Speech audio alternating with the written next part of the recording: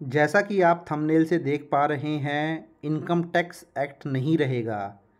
तो क्या income tax act अब जो है ख़त्म हो जाएगा और उसकी जगह उसको रिप्लेस कर देगा डायरेक्ट टैक्स कोड 2025 जी हाँ दोस्तों गवर्नमेंट ने पूरी तैयारी कर ली है कि ये जो इनकम टैक्स एक्ट है 1961 इसको रिप्लेस कर दिया जाए और इसकी जगह डायरेक्ट टैक्स कोड 2025 लेकर आया जाए, जो कि उम्मीद है कि एक अप्रैल 2025 से इम्प्लीमेंट हो जाएगा। तो इसको लेकर जो बजट 2024 है, उस बजट के अंदर हमारी जो फाइनेंस मिनिस्टर हैं, निर्मला सीतारमन जी, उन्होंने अनाउंस भी कर दिया था कि आने वाले टाइम में छः या आठ महीने के अंदर हम डायरेक्ट टैक्स कोड 2025 लेके आएँगे। इसका पर्पस क्या है लाने का? इसका पर्पस यही है कि जो हमारा इनकम टैक्स एक्ट है इसको सिंप्लीफाई बनाया जाए। बहुत सारी चीज़ें ऐसी हैं जो कि बहुत टिपिकल हैं। तो उन सारी ही चीज़ों को आसान किया जाए टैक्स पेयर के पॉइंट ऑफ़ व्यू से। तो कुछ हाईलाइट क्या हो सकती हैं इस डायरेक्ट कोड की? वो मैं आपके साथ डिस्कस कर लेता हूँ, जिससे आपको भी एक क्लैरिटी मिलेगी कि ये जो डायरेक्ट टैक्स कोड 2025 हम बोल रहे हैं, इसके अंदर ऐसा क्या आने वाला है। तो चलिए डिटेल में अपनी वीडियो की तरफ़ बढ़ते हैं और कुछ वो पॉइंट्स डिस्कस करते हैं। जो कि इस डायरेक्ट टैक्स कोड के अंदर कंसिडर किए गए हैं गवर्नमेंट के द्वारा। तो देखिए, सबसे पहले तो अगर मैं बात करूँ, अभी जो आपका कंसेप्ट चलता है, वो असेसमेंट ईयर और प्रीवियस ईयर या आप बोल सकते हैं फाइनेंशियल ईयर का कंसेप्ट चलता है।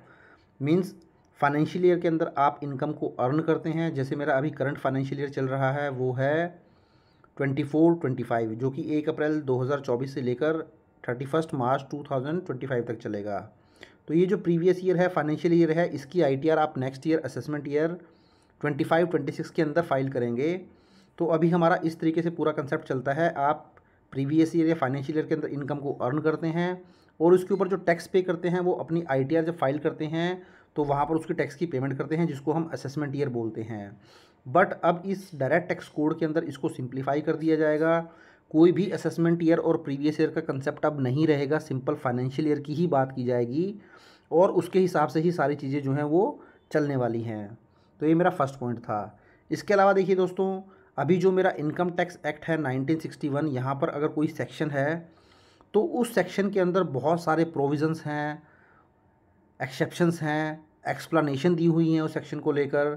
बट ये जो डायरेक्ट टैक्स कोड आएगा, इस डायरेक्ट टैक्स कोड के अंदर आप देखेंगे अब केवल सेक्शन की ही बात की जाएगी प्रोविज़न्स की ही बात की जाएगी। ये जो एक्सप्लेनेशन हम देते थे, या एक्सेप्शंस होती थी, या जो प्रोविज़न्स होते थे, इनको कंसिडर नहीं किया जाएगा। तो कहीं ना कहीं जो आपका इनकम टैक्स है, उसको सिंप्लीफाई बनाने की बात की जा रही है गवर्नमेंट के द्वारा। बट आने वाला टाइम ही बताएगा ये कितना सिंप्लीफाई हो पाएगा, क्योंकि जीएसटी के अंदर भी गवर्नमेंट के द्वारा ऐसे चेंजेस किए गए थे और बताया गया था कि जीएसटी को बहुत ज़्यादा सिंपल कर देंगे। तो अभी नेक्स्ट ईयर होप हम कर सकते हैं कि ट्वेंटी फाइव के अंदर ये डायरेक्ट टैक्स कोड इम्प्लीमेंट हो जाएगा। उसके बाद फिर धीरे धीरे हमें पता चलेगा कि इससे कितनी ज़्यादा सहूलियत जो है टैक्स पेयर्स को हो रही है प्रोफेशनल्स को हो रही है। अब फर्दर हम देखते हैं to increase the tax base तो देखिए, अब गवर्नमेंट क्या है? अपना टैक्स बेस को डायरेक्ट टैक्स जो कलेक्शन होती है, उसकी, उसके टैक्स बेस को बढ़ाना चाहती है। गवर्नमेंट चाहती है कि ज़्यादा से ज़्यादा असेसिस जो है अपने इनकम टैक्स के रिटर्न को फ़ाइल करें टैक्स के दायरे में आएँ। इसी का नतीजा है, आप देख रहे होंगे पिछले दो तीन साल से गवर्नमेंट चेंजेस करती जा रही है, जहाँ पर न्यू टैक्स रिजीम को जो है इंट्रोड्यूस किया गया। तो न्यू टैक्स रिजीम को इंट्रोड्यूस करने का मतलब ही यही है, कहीं ना कहीं अपने टैक्स बेस को बढ़ाना चाहती है गवर्नमेंट और जो इनकम टैक्स है उसको सिंप्लीफाई रखना चाहती हैं, क्योंकि ओल्ड टैक्स रिजीम में तो आप जानते हैं, बहुत सारे सेक्शन के अंदर आप इन्वेस्टमेंट करते हैं, आप सैलरीड पर्सन है एग्जामेशन क्लेम करते हैं। तो इस तरीके से न्यू टैक्स रिजीम में किसी भी तरीके की इन्वेस्टमेंट करनी नहीं होती है। तो एग्जामेशन आपको जनरली मिलती नहीं है तो उसको सिंप्लीफाई रखा गया है। तो ये डायरेक्ट टैक्स कोड का ही आप पार्ट बोल सकते हैं, जो ये पिछले तीन चार साल से गवर्नमेंट स्लोली एंड ग्रेजुअली इसकी तरफ़ बढ़ रही है। जैसे न्यू टैक्स रिजीम को इंट्रोड्यूस करना एक बहुत बड़ा इसका एग्ज़ाम्पल है। इसी तरीके से देखिए, एक बहुत ही इंपॉर्टेंट अपडेट और बहुत ही अच्छा अपडेट मैं बोलूँगा इसको। मार्जिनल टैक्स रिलीफ की जो लिमिट है, उसको अब फिफ्टी लाख तक जो है वो कर दिया जाएगा, या बोल सकते हैं मार्जिन टैक्स रिलीफ लेके आएगी गवर्नमेंट फिफ्टी लाख रुपीज़ तक की अगर आपकी इनकम है, आपकी सैलरी है तो आप ये बोल सकते हैं, अगर आप एक सैलरीड एम्प्लॉई हैं और आपकी फिफ्टी लाख रुपीज़ तक की इनकम है तो आपको मैक्सिमम जो टैक्स पे करना होगा, वो केवल और केवल फिफ्टीन परसेंट का टैक्स ही पे करना होगा। तो अगर आप एक सैलरीड एम्प्लॉई हैं तो ये बहुत ही बड़ा आप अपडेट बोल सकते हैं, चेंज बोल सकते हैं गवर्नमेंट के द्वारा, जो कि आपके फेवर में रहने वाला है, अगर आप एक सैलरीड एम्प्लॉय हैं या आपकी इनकम फिफ्टी लाख रुपीज़ तक की है। तो देखिए बहुत ही पॉजिटिव चेंज आप बोल सकते हैं। इसी तरीके से अभी बहुत सारे कैश कैस्केडिंग इफेक्ट्स होते हैं मीन्स आपकी जो एक इनकम होती है, एक अमाउंट होती है, उसके ऊपर दो बार टैक्स जो है वो पे कर दिया जाता है। बायर भी टैक्स पे कर देता है सेलर भी टैक्स पे कर देता है। जैसे अगर मैं एग्जांपल लूँ, कोई प्रॉपर्टी है, अगर आपने वो सर्कल रेट से बिलो परचेज या सेल की है तो वहाँ पर फिर दोनों को ही टैक्स पे करना पड़ता है। तो इस तरीके के जो कैस्केडिंग इफेक्ट्स हैं, उनको ख़त्म कर दिया जाएगा।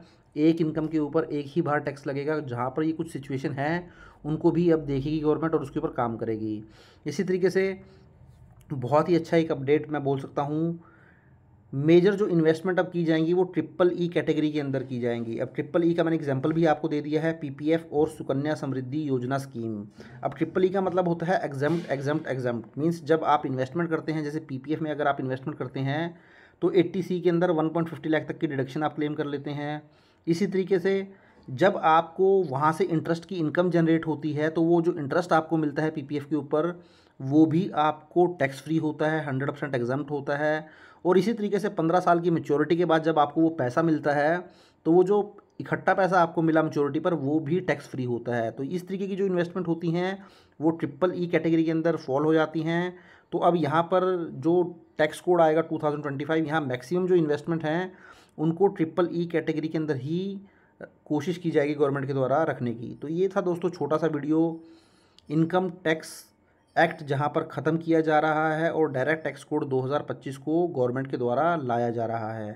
तो आई होप वीडियो आपको अच्छा लगा होगा। वीडियो अच्छा लगा तो उसको लाइक करें, शेयर करें और चैनल को सब्सक्राइब नहीं किया है तो चैनल को भी ज़रूर सब्सक्राइब कर लें। Thank you very much. Have nice day. Take care.